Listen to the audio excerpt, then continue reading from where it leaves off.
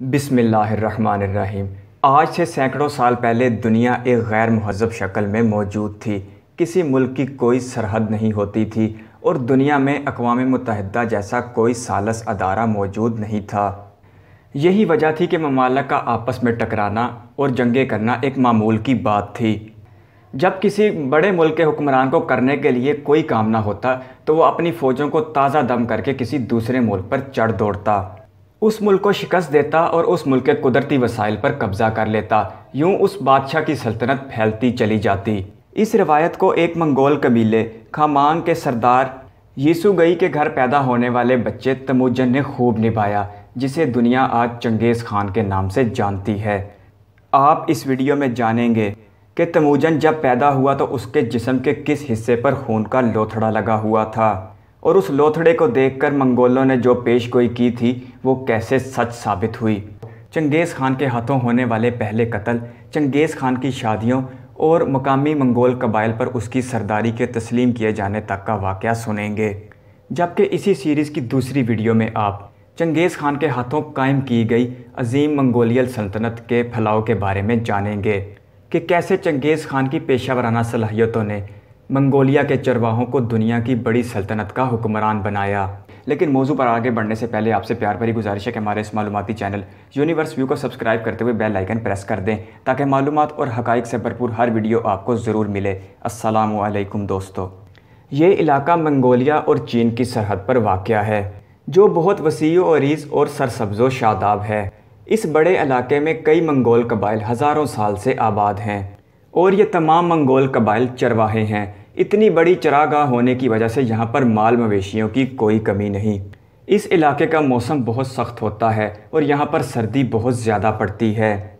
ये मंगोल कबाइल अपने जानवरों का दूध पीते हैं, गोश्त खाते हैं हती के इन जानवरों की आंतड़ियाँ और खून भी पी जाते हैं और इन्हीं पालतू जानवरों की खालों को बतौर लिबास इस्तेमाल करते हैं।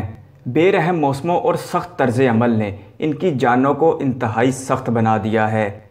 आज के मंगोल तो देखने में हमें शायद सुलह जो और अमन पसंद लगे, लेकिन मंगोलों की तारीख़ इससे बहुत मुख्तलिफ़ है।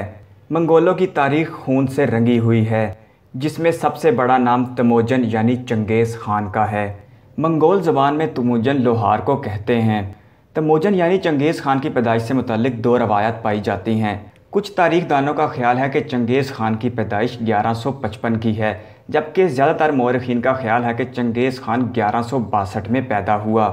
चंगेज़ खान के वालद का नाम यसु गई था, जो एक मकामी मंगोल कबीले खमाक का सरदार था। चंगेज़ खान अभी छोटा ही था कि उसके वालद को जहर देकर हलाक कर दिया गया। चंगेज़ खान की पैदाइश के इलाके को कैंटिन माउंटेन कहा जाता है। ये चीन मंगोल सरहद पर एक बड़ा पहाड़ी इलाका है।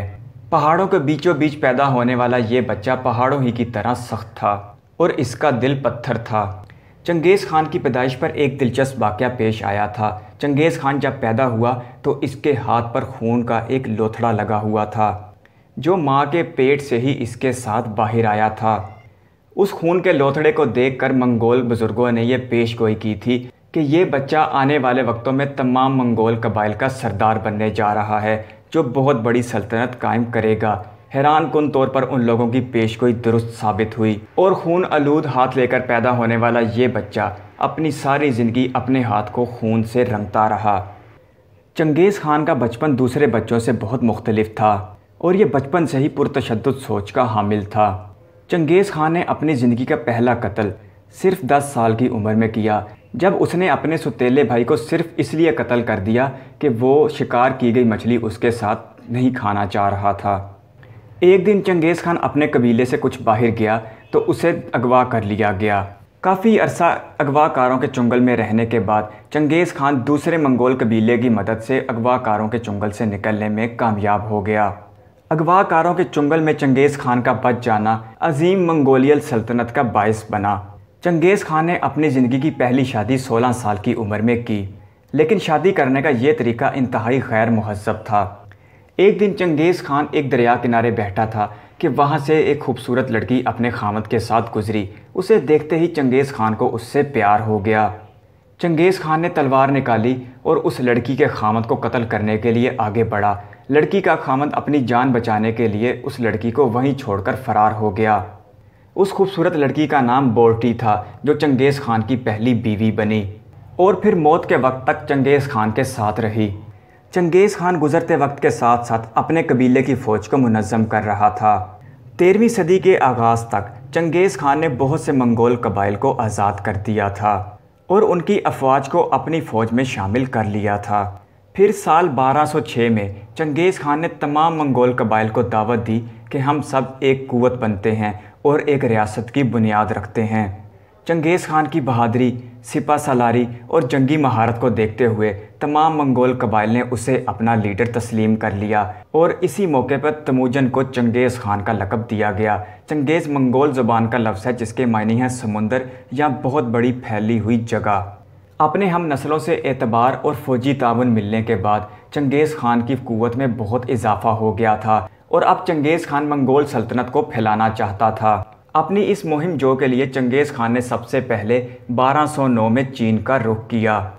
चंगेज़ खान सिर्फ़ जंगी मैदान का लीडर ही नहीं था, बल्कि उसमें जमहूरियत भी पाई जाती थी और जहाँ पर बात मुजाकरात से हल हो सकती थी, वो मुजाकरात को ही तरजीह देता था। तारीख दानों का ख्याल है कि चंगेज़ खान को मिलने वाली इतनी बड़ी कामयाबियों के पीछे चंगेज़ खान की दो हमत अमली थी। पहली ये कि चंगेज़ खान के पास जसूसी का एक मुकम्मल निज़ाम मौजूद था। चंगेज़ खान ने जब किसी भी रियासत या मुल्क पर हमला करना होता था तो पहले उसकी मुकम्मल जसूसी करवाई जाती थी। दूसरे मुल्क की फ़ौजी कुत का मुकम्मल अंदाज़ा लिया जाता था और उनके पास मौजूद हथियारों के बारे में भी मालूम हासिल की जाती थी। जबकि इसके साथ साथ दूसरी बड़ी हमत अमली ये अपनाई जाती थी कि उस मुल्क या रियासत को जाने वाले तमाम तजारती रास्तों और उस मुल्क की मुकम्मल जियोग्राफ़ी पर नज़र रखी जाती थी। हमले से पहले इस बात का मुकम्मल अंदाज़ा लगाया जाता था कि कौन सी जगह हमला करने के लिए सबसे ज़्यादा मौजू है। और उस मुल्क की तलब और रसद, यानी कि उस मुल्क के तजारती रास्तों के बारे में भी मुकम्मल जानकारी हासिल की जाती थी, जो जंगी मैदान में सबसे अहम किरदार अदा करती थी। ये सारी बुनियादी मालूम हासिल करने के बाद चंगेज़ खान ज़रूरत के मुताबिक अपनी फ़ौज को तरतीब देता था। चंगेज़ खान उस ज़माने का वाहद फ़ौजी सिपा सालार था, जिसकी तमाम फ़ौज घोड़ों पर सवार हुआ करती थी। यानी कि इस फ़ौज का एक भी सिपाही पैदल नहीं चलता था, जिसकी सबसे बड़ी वजह यह थी, अगर दुश्मन को चंगेज़ खान की फ़ौज की रवानगी की इतला मिल भी जाए तो उनके तैयार होने तक चंगेज़ खान की फ़ौज उन तक आन पहुँचती थी। यानी दूसरे मुल्क को संभलने का मौका नहीं दिया जाता था। इन्हीं चंद हमत अमलियों ने चंगेज़ खान को फ़ौजी मैदान का बड़ा सिपा सालार बनाया और चंगेज़ खान ने एक बड़ी सल्तनत की बुनियाद रखी। आप मालूम से भरपूर इस चैनल को सब्सक्राइब कर लें। अपनी आने वाली वीडियो में हम आपको बताएँगे कि चंगेज़ खान का हरम कैसा था, जिसमें छः बीवियाँ और पाँच सौ लोंडियाँ थीं, जिनके साथ चंगेज़ खान हर वक्त जिनसी अमल में मसरूफ़ रहता था। इसके साथ साथ मज़ीद आप जानेंगे कि दुनिया का ये ालिम और शफाक हुक्मरान कैसी बेनामी मौत मरा। वीडियो देखने के लिए आपके कीमती वक्त का शुक्रिया। अल्लाह हाफिज़।